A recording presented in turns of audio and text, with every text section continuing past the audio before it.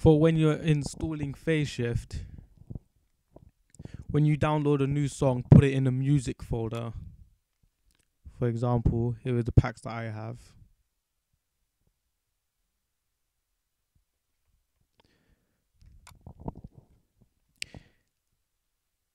When you're setting up your new instrument go to button data and as it says press any button on the controller you wish to profile and then you'll do the profiling stage.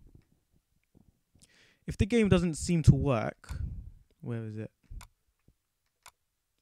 Go to the vcredis x86 or the dxredis dx setup. Try both of those if the game doesn't work and install them and the game should start working after that. When you do finally put the game on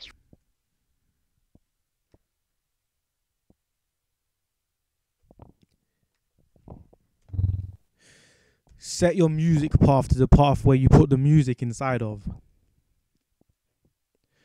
The game is in window at the moment, but you can put it full screen.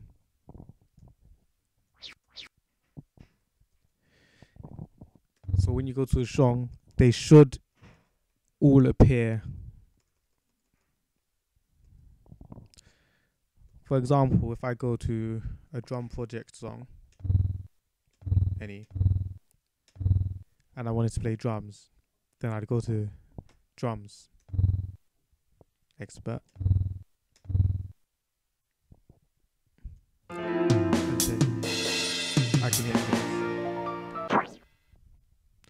Should work.